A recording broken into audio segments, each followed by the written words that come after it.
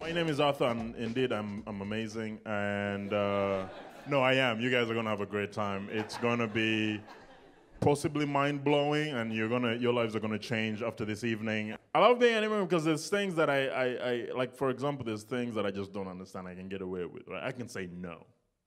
Right? You guys are like, what are you talking about? Because Canadians, most polite, welcoming people in the world. You don't even have no in your vocabulary. You don't have it.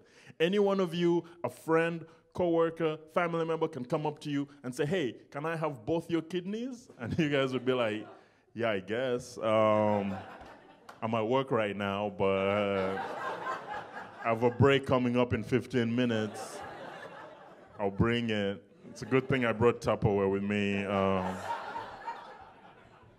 good health care.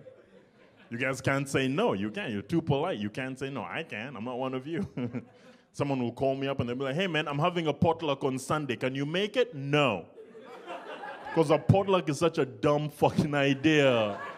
A potluck is a polite way of saying I have a nicer house than you, but I can't cook. That's all it is.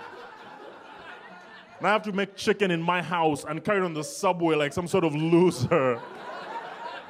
Just because Chris can't cook. No, go fuck yourself.